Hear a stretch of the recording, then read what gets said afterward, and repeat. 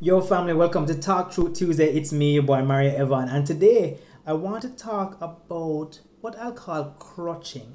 And what you guys may know a crutch to be is that device that you use when you have a broken leg. It's either singly or used as a pair to help you when you probably broke have broken a lower limb.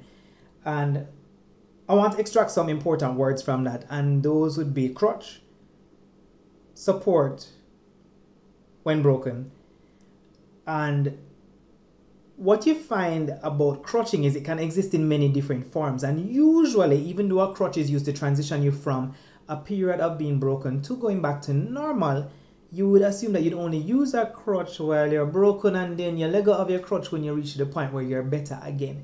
But in psychology and in life, crutching often is when you are overly dependent on somebody. And I find that this can happen many, many, many times, and it doesn't always have to be in friendships. I want to tell you a little story about me and alcohol. So in Jamaica here, we party and we drink. We go soca party, we drink, we go dance, we go dance, we, we drink. I didn't realize how much of a drinking culture we had. Rephrase, I had. And I didn't realize how much alcohol was a crutch for me. And I'm not by any means calling myself an alcoholic, but if I went to a party, I would drink. Always sober enough to get home but you get pretty tipsy. When I was tipsy, I would become another person. I would say things that I wouldn't necessarily remember saying, and people would tell me I told them things that I said, and I was like, me? Couldn't me say that? But the drink after work, oh God, I had a hard day. Let me have a drink. Oh boy, it was a really rough exam. Let me have a drink. Boy, I'm gonna say some bad news while I'm going. I need to have a drink. But do you need to have a drink. You don't need to have a drink. So January 4, I decided I was going to stop drinking mainly because I wanted to remove dead calories so that I can lose the weight and become a good body man. So I stopped drinking alcohol and I get the only time I drink alcohol is when I went to the Worthy Park rum tour and they had a welcome drink. I had that. That was in February.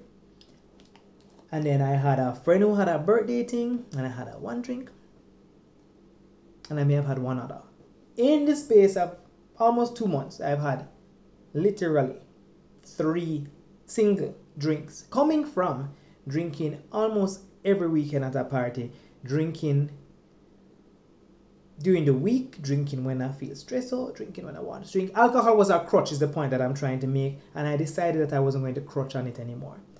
Let's move that away. And we have many other crutches that we use you know what your crutch is. It could be cigarettes, it could be alcohol, it could be sex, it can be a person. Let's talk about crutching in friendship. Now, is this a friendship or a dependency? Hmm. What type of symbiosis is this? Is this mutualism or is this parasitism? Is this mutualism or is this predation? Are we helping each other out? Are you trying to kill me dead? Or are you trying to suck me dry? I don't have enough food to feed you or to fill your belly. If you're in a situation like that, I encourage you to get the hell out. And there are a lot of people who bring this energy. They're the self absorbed, the narcissists who are all about themselves. Another time we talk about them. People who love your energy, they love your skills, they want to use you and ask you for things all the time. They have no consideration for your time, for your effort, once they get what they need to get, they are in and they are out. You need to set healthy boundaries for said people. You need to have a conversation with said people and let them know that said relationship will not progress unless said boundaries are upheld. And if said boundaries cannot be upheld, then this relationship will be no longer. You drop them, you leave them behind without apology. And this crutching is different from friends who help each other, who have reciprocity, who show each other love when they're having a hard time. Because when I'm having a good day, you're having a bad day. When you have a loss, I have a gain. And I'm up and you're down. I'm going to help you when you're down, and vice versa. And that's healthy friendship, not crutching. So, wrap all of this up. If you're the crutcher, identify yourself. Cancel back, old time dancehall talk. Take five steps back Stop crutching on people. If you're the crutchy, identify the weight that is being placed on your shoulders and relieve it. Start to take care of yourself and set some boundaries.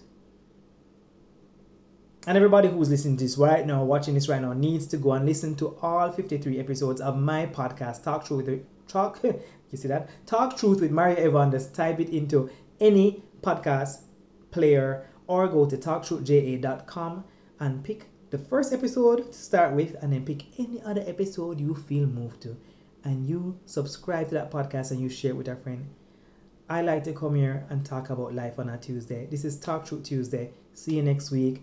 Be safe, be good, be strong, be good humans. Blessed love.